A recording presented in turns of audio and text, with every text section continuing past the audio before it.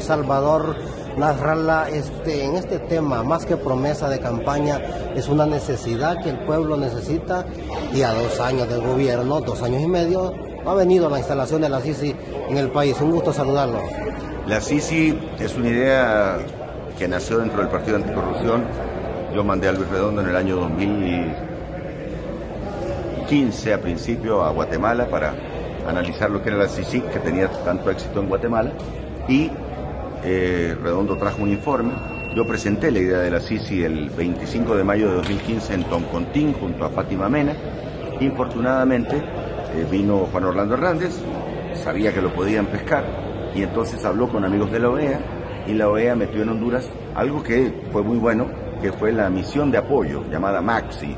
Y este gobierno, cuando hicimos campaña, prometimos que lo primero que haríamos sería instalar una SISI. El problema es que Mel Zelaya, que es el que manda, está detrás de todo esto, no les dijo qué tipo de SISI. O sea, el tipo de SISI que Mel Zelaya quiere es una SISI donde el jefe de la misión no sea un extranjero, que es lo que exige la ONU, sino que sea un hondureño empleado de él. Digamos, poner a Rixi Moncada como jefa de la SISI. Y además, que el pisto sea pisto de Honduras, autonomía e independencia. Por eso no se ha instalado. Ahora bien, ¿quién está trazando todo esto, ingeniero? Al final, ¿es la ONU que ha venido atrasando o es el mismo gobierno que eh, pone las trabas? La traba la pone Mel Zelaya porque él define la Sisi como que si pues, no la define en los términos que el, las Naciones Unidas le presta a Honduras el servicio de investigación, sino que lo define como un ente nacional con un jefe nacional y con pisto nacional. Así lo define Mercelaya. Está queriendo confundir a la gente y quieren darle a entender que es la ONU la que no quiere. Mentira. Y eso es, bueno, yo quise meterme en esa organización. Me acuerdo que asistíamos a un par de reuniones, tres reuniones con Alice Shackelford de la ONU, y me lo dijeron.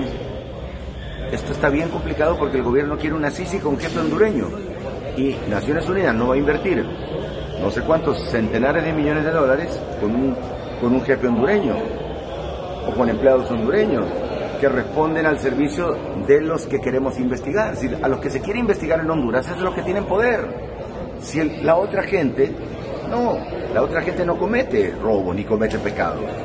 Entonces, por eso la CICI en Honduras solo se va a instalar a partir de que entre de presidente una persona decente, honrada, como yo que entiende el tema y que quiero castigar no solo a los corruptos que ha tenido Honduras, sino que además a los que se me cuelen, porque yo estoy seguro que se me va a colar gente corrupta en el gobierno, pero voy a tener a la Sisi para cortarla. Ahora bien, explíquenos esto que ha mencionado en este otro tema. Ha mencionado que usted va a traer un ferro, usted va a construir el ferrocarril interoceánico con Estados Unidos y no con China cuando llegue al gobierno. Eh, nuestro gran aliado es Estados Unidos. China ha hecho un montón de cosas, negocios multimillonarios que le han permitido apoderarse, por ejemplo, de minas en Bolivia y de otras cosas en Ecuador y en Perú. O sea, los negocios, China no te regala nada. El que le regala a sus países amigos es Estados Unidos. Entonces, ¿por qué voy a buscar yo a alguien que no nos ha dado nada? De hecho, hicieron, rompieron con Taiwán y no le pidieron nada a cambio a, China comunista. Nada. ¿Y quién salió perdiendo? Los empleados de las camaroneras, los empleados de las meloneras, los empleados de las maquilas, empleados de un montón de empresas taiwanesas en Honduras que se tuvieron que ir. Y no es solo que se tuvieran que ir, sino que además esas empresas generaban empleo. Entonces los hondureños que ahí trabajaban ya no tienen chamba. Entonces se tuvieron que ir también para Estados Unidos. Esas son malas decisiones del gobierno. Ahora bien, va por mal camino entonces las negociaciones que está haciendo el gobierno con China para la construcción. Mira, las negociaciones del gobierno da lo mismo lo que avancen ahorita, si ese es un proyecto que dura 10 años. Cuando yo llegue al gobierno lo voy a enderezar con profesionales, no con bachilleres, como lo que tienen ahorita. Y vamos a hacer, obviamente que el, ferrocarril interoceánico se hace por partes, no es una papada que se hace, hoy digo lo hago, no, bueno, no lo, hago yo, lo hacen miles de personas. Es un proyecto milenario, es un proyecto que requiere mucho conocimiento, mucha inversión y mucho tiempo. Eso, pregúntale, a, los que dirigen eso, a ver si entienden más o menos, a ver si dominan los números, porque con los números yo te puedo hablar de 10 mil millones o te puedo hablar de 10 billones, y yo quiero saber cuántos entienden esa terminología.